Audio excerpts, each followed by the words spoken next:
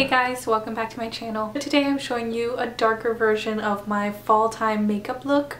I wanted to show you guys one of my favorite lipsticks, which is Sin.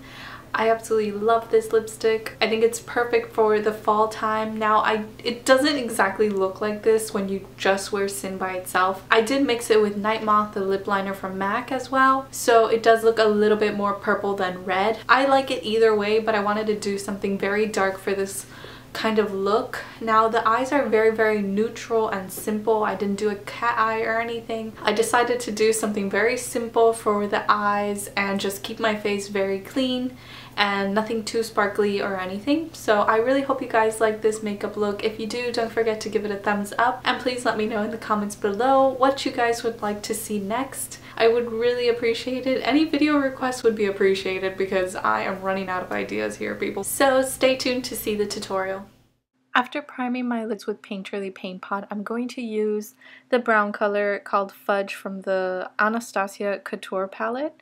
And I'm just going to put this on the outer corners of my eye first and then blend this all out all over my lids and create a very flawless look. You want to blend this out as much as possible because you do want to achieve a very seamless look on your eye. And then I'm going to bring this down to the lower lashes like I usually do. Now I'm not going to add too much but you you can add as much as you like just to add depth to your eye. And then I'm going to go in with Bellini from the same palette and add that to my inner corners. Now I didn't show this step but I did add some lashes from Salon Perfect which is a brand from Walmart and they are the Demi Wispies. And then I added mascara to my lower lashes and it's the Full and Soft Mascara by Maybelline and I love this mascara. It gives me very long lashes.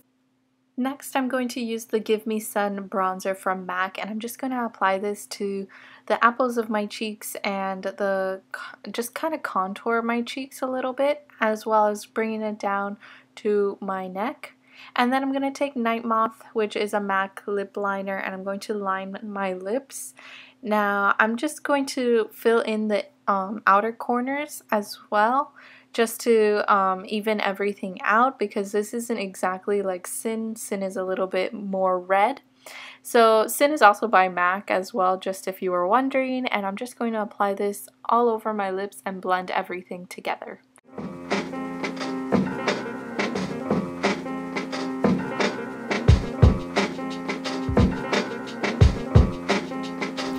So much for watching guys. I really hope you guys liked it and don't forget I do upload videos every week and I really hope you guys have a great weekend.